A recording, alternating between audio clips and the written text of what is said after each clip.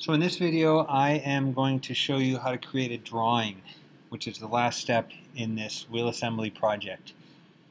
Uh, even though so much in our world is manufactured and manufactured in uh, sort of an automation process uh, where machines are doing the work, we still have humans running the machines and humans like to use drawings uh, to refer to. Uh, in construction we definitely use drawings in manufacturing, uh, we are still using drawings, and I think it's not going to change for a long time. So I'm going to show you how to do that uh, here using Fusion. Okay. Um, you're going to, I'm going to open the data panel. Okay. Um, let's go ahead right now. I'm just going to have this this untitled. I'm going to hit save, and I'm going to call this drawing demo and I'm going to save it in my folder. Okay, and then instead of using a design, I'm going to go drawing from design. Okay, and I'm going to do a new drawing, full assembly. I'm going to say a C, C sized sheet is a better size. We're going to hit OK. Okay, the design contains neither solid bodies nor sketches. Okay, so we need to um, we need to have our, our um, assembly open. So I'm going to go back over to my data panel and I'm going to open my wheel assembly complete by double clicking it. Okay. And now from here, let's try it again. Drawing from design. We want the full assembly. We want again a, a bigger sheet, a C-size sheet create new drawing, and now I'm going to try hitting OK and see if this will open it. Yes, it looks like it's opening, it's thinking. So open, make sure your final assembly is saved, then make sure you open it, and then from that assembly, it's going to create a new drawing. Okay, if you just start with a blank, untitled, and you save it, uh, it doesn't know what to bring in. So now you can see it already automatically brought in my wheel. So I'm going to start by bringing it over here, and I'm going to just hit OK. Okay, then, and I can close this now, make some more room on my sheet.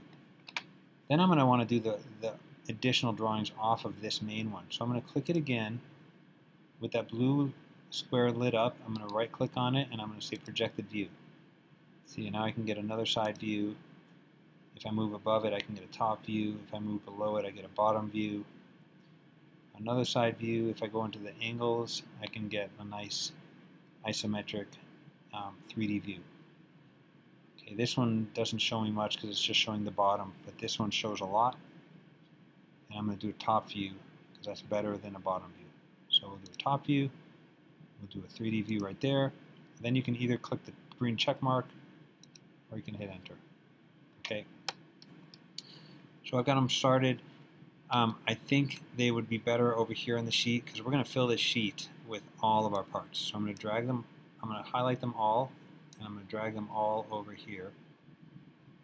And if you wait a second, it kind of catches up to what you're doing. Um, these are just going to be for reference. I'm not going to dimension them, but I do need room underneath for titles. So I'm going to grab these two, and I'm going to move them down. And if you notice, you can't move them sideways without moving the associated top view sideways. Okay, so they're always going to stay associated. So this is okay, but I want to get a little more space, like maybe that. That lets me put a title here and there, and then like a big overall title right there. So, so far so good. I'm just going to hit save because it's always important to save. Um, I guess I can just leave it just like that. It's always important to save often. So that way if you crash out, you still have some of your work saved. Okay. Now I'm going to go into the text tool. And I'm going to just come down here and draw a text box. And I'm going to say, uh, I'm going to go caps lock, and I'm going to go wheel assembly. Check your spelling. Close. Okay, that looks really small. So I'm going to escape out so I'm not in that tool. Double click it highlight it. You always have to highlight it first and then you can change the size up here, and I'm going to make that maybe like a half inch, and we'll see what it looks like. Looks pretty good. Maybe it's a little too big, so I'll do it again. Highlight it. Maybe I'll go like 0.4 inch. Close. Okay, and then if I drag this little arrow, I can make it all in one line of text, which looks way better. And then I can kind of center it underneath everything. Okay, that's good. Then we're going to put a, set, a title here that says top view. So I'm going to just do another uh, text box, and I'm going to write top view. Okay, um, and I'm going to pick slightly bigger text because the last one was tiny. Okay, that looks pretty good, point two. So I'm going to move that. Okay, and then if you uh, if you want to save some time, you can just click it, Command C and Command V, and then what you have to do is say like starting point, end point. And I don't know if I can Command V again. No, see that didn't work. Um, so I'm going to have to pick it again, copy and paste, and then click. But it's still faster than having to redo all the settings. Um, enter. I wonder if I can Command V now. I guess I can escape out and then I can Command V again. Enter.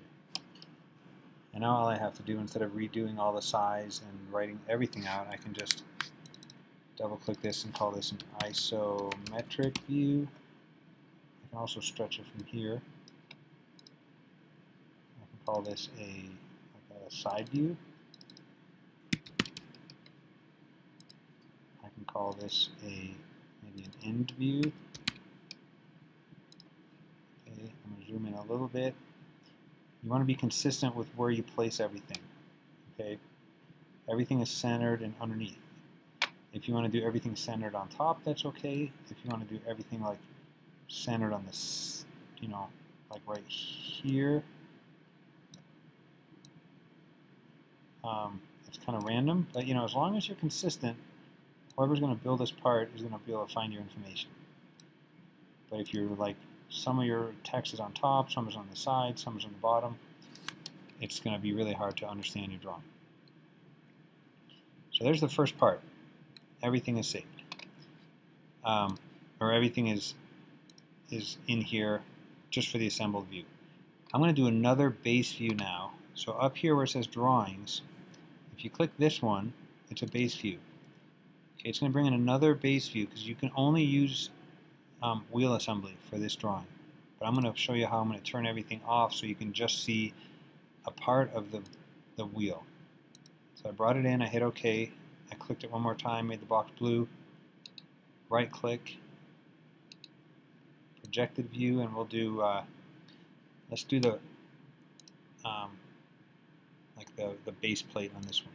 So I'm going to go check mark. And these are going to be purely like technical drawings. So I'm not going to do an isometric view. I'm just going to do top view, side view. Okay, if you notice here, now we have this wheel assembly, which is um, the first one we brought in, this is the second one we brought in. And, it, and if you don't have it expanded, you can expand it like this, and you can check mark or uncheck mark everything that you don't want to see. So if I check off everything but base plate, I'm left with just the base plate. Okay. This drawing is, this one drawing here is not really useful because there's more information on this drawing. And this one can show us the thickness so I'm going to take this one and I'm going to delete it. And then I'm going to move this one so it's associated closely with that. Okay. And let's move those kind of more over here for now. Then I could take this guy, Command C, Command V, and put that over here. That way I match the same text size. Um, I'm going to pick one of these, and I'm going to Command C, Command V, and I'm going to put that over here. Enter. Command C, Command V, and I'm going to copy and paste it over to there. Okay. Then I can make this say side view. Close. I'm going to make this one say um, base plate. Close. Okay, I'm going to grab this and I'm going to just slide it over there. I'm going to move all of these a little bit further in on the page because we do need room for dimensions. Okay, the dimension tool is up here, but I don't like using the one with the sun on it because it, I'll show you, it just does bad things. If I want to dimension um, like this overall height, and I pick like this dot, and then I pick maybe that dot, then I get this weird dimension that's useless. Okay, so the better tool I find most of the time is linear dimension. With that one, I can pick this dot, I can pick that dot, or I can pick this dot, and it's always going to do what I want. Um, dimensions usually should not be inside your part. They should usually be outside of your part. And I'm going to leave a little bit of room because then I can put more dimensions in here. Okay, so again, if I go dimension, linear dimension, I can dimension from here to there, and I can go up to there, and I have my overall height and width. Then I can do another dimension and get from here to there. See, and I left some room for that. So I have this one and a half inch dimension. Um, here's another tool that I find really handy. The chain dimension tool lets you just pick a dimension and then continue adding to that dimension. Okay, so it's really handy and then just hit, uh, uh, escape didn't help me, escape just killed it. Chain dimension, pick this one, then you just go click, and click, and enter. But remember, you don't want a closed chain or closed string of dimensions. So I'm going to delete this middle one out. And now that's looking good. Then we should dimension maybe hole locations in one place. I'm going to do this top corner for that. So I'll go dimension, linear, and I'm going to make sure it's the center point of the hole. And I'm going to go to there and come back out here. Then I'm going to again, linear dimension from center point to there, and I'm going to go out to there. Okay, so now the hole is located. If you notice on the dimensions you have diameter dimension, okay, you could use that on your hole. You can also do a radius dimension to maybe define this radius right here. Okay, and then we could do a linear dimension to describe that. We could do a linear dimension to describe this. Okay. Um, this bottom part is not visible here. I wonder if I'm going to hit save just to make sure I've got it in case something bad happens. My radar kind of goes off anytime I try something else. Uh, that's where sometimes computers crash. So uh, I like to save first. So I'm going to click this view here and I'm going to right click it on the blue box and see if I can change the the view. Let's see, does it give me anything I want here? I was what I was hoping is that I could make the, the view showing the hidden lines. And I know there's a place to find it, but now I can't remember where it is. Would it be in here? I don't think so. So I'm going to leave it this way for now in the interest of getting this video to not be too long. But I could put a dimension on that side view. Okay, so if I go uh, linear dimension, I can dimension from here to here. Um, I need to move this now because I got to make some more room for that dimension. And that's okay if they don't line up like this, or you could grab all of this and move all of that up. That would probably be more clear. You know, line up your, your text. Um, we don't know where this is, so we need a dimension from one of these corners so that you know where this little notch is. So I could do a chain dimension, I could pick this, and then I could just click it to there. And then hit enter. That's a pretty, pretty well defined part. Okay. Um, if you uh, if you find, I think the the vertical. Let's just bring in one more part here.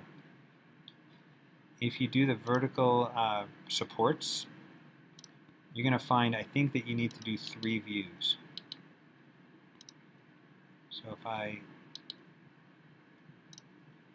see, here we go, a little bit of lag there. This one, um, this one, check mark. Okay, and now this part I want to turn everything off but the brace wheel support. And I'll show you what I mean. Some parts you only need two views. This part, I don't know if you could build it with only two views. I think you might be able to build it with just those two views, but I would keep all three. I think it just makes it more clear. Okay, so you have to decide whether you need two or three views. I want you to fully dimension one part. I want you to at least do like overall dimensions on the rest of the parts. So like an overall height, overall width. Okay. Put this in for clarity. Never dimension on a 3D view. I just think that's bad dimensioning. You usually dimension on these projected views. Okay. When you're done, you're going to do the output. So click on the output button. You can leave it on all sheets because we only have one sheet. Um, and you're going to say OK. And make sure you know where it goes. I'm going to save it to my desktop. Right there. And I'm going to go save. And it waits for a moment. Okay, and then if I minimize this, there's my drawing right here as a PDF. That's what gets submitted through Canvas. So if I open it, this is something you should like email your parents and make them cry. Okay, these technical drawings look so good when they're done. Um, this could be printed, it could be viewed on any computer pretty much in the world. Okay, um, but that's the, that's the end result. That's what gets submitted through Canvas.